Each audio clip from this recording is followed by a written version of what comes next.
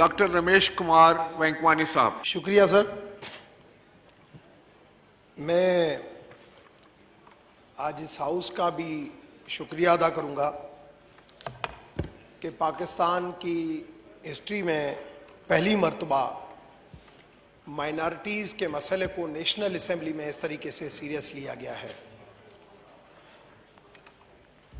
पाकिस्तान की हिस्ट्री को अगर देखा जाए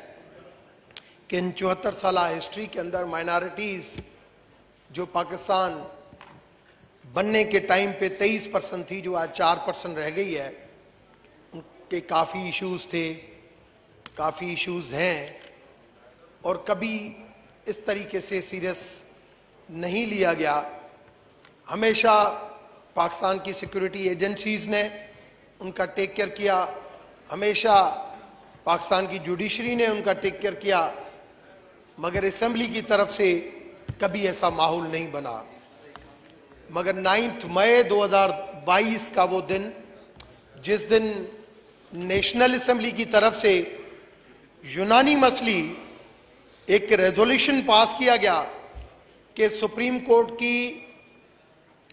जो डायरेक्शंस हैं, माइनॉरिटीज़ के जो राइट्स हैं, जो कायद अजम मोहम्मद अली जना की एलेवेंथ अगस्त की स्पीच और उनकी उम्मीदें हैं, उन सबको मद्देनज़र रखते हुए हम एक माइनॉरिटी की टास्क फोर्स को गवर्नमेंट को रिकमेंडेड करते हैं कि गवर्नमेंट को एक माइनॉरिटीज़ की, जिसको माइनॉरिटीज़ भी ने, मैं नहीं कहता नॉन मुस्लिम सिटीजन्स की एक टास्क फोर्स बने और वो टास्क फोर्स अपनी रिकमेंडेशन दे, जो सुप्रीम कोर्ट की मुख्तलिफ़ रूलिंग आई है सी एम एज आई हैं जो सुप्रीम कोर्ट की main judgement honourable chief justice Tassaduq Hussain Jillani साहब की 19 जून 2014 की, उस जजमेंट की रोशनी में जितनी भी सुप्रीम कोर्ट की रूलिंग है, उस हवाले से एक एडवाइस दे और गवर्नमेंट उस हवाले से एक टास्क फोर्स बनाए। बहुत इस चीज़ को जब सीरियस लिया गया तो यहाँ पे नेशनल असेंबली की सारी political parties, PMLN, people's party, JUI, BAP, MQM और हमारे और भी जो इंडिपेंडेंट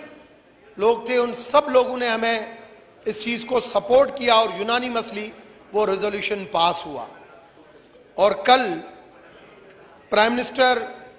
ऑफ़ पाकिस्तान मियाँ मोहम्मद शहबाज शरीफ साहब ने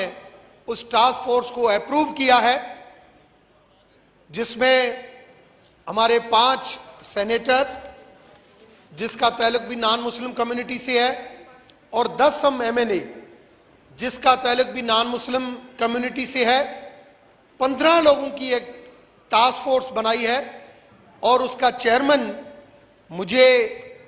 नामजद किया है। प्राइम मिनिस्टर साहब ने भी और असेंबली ने भी ये रिकमेंडेशन दी थी।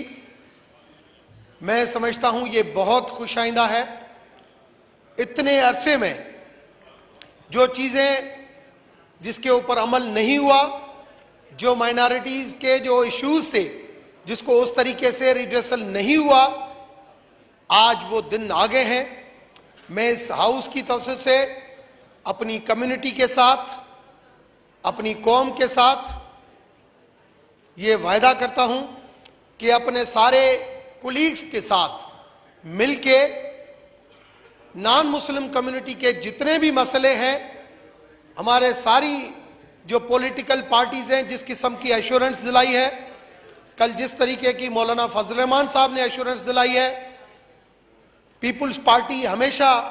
माइनॉरिटीज़ के साथ क्योंकि पाकिस्तान की हिस्ट्री में माजी में तो हमेशा माइनॉरिटी का मिनिस्टर होता था, मगर पीपुल्स पार्टी के टाइम पे बना था। शहबाज भट्टी उसके बाद नहीं बना। कभी भी इंटरफेथ हारमोनी के मगर अब कम से कम ये जो चीज़ें हो रही हैं, मुझे बहुत उम्मीद है कि नॉन मुस्लिम कम्युनिटी के मसले जिसको वो प्रायोरिटी नहीं मिलती थी, अब कम से कम हम, मैं अपने सारे कुलीस के साथ मिलके जितने भी इश्यूज़ हैं, उनके रिड्रेसल के लिए कोशिश करेंगे कि कम से कम ये जो दुनिया में जब बाहर जाते हैं, तब भी एक मसला होता है, फेटफ में होता है, तब भी मसला होता है रिलीजियस फ्रीडम की रिपोर्ट में तब भी मसला होता है। हर जगह पे वो इश्यूज़ हाईलाइट होते हैं। कम से कम अब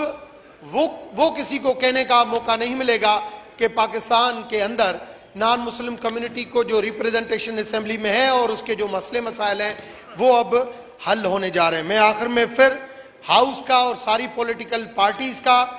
प्रेसिडेंट जरदारी साहब का, मियाँ शहबाज शरीफ साहब का, बिलावल भुट्टो साहब का, मौलाना फजल रहमान साहब का,